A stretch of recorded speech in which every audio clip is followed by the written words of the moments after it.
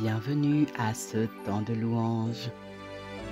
Inspiré en psaume, chapitre 127, verset 1.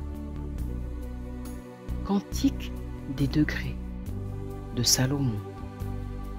Si l'Éternel ne bâtit la maison, ceux qui la bâtissent travaillent en vain. Si l'Éternel ne garde la ville, celui qui la garde veille en vain.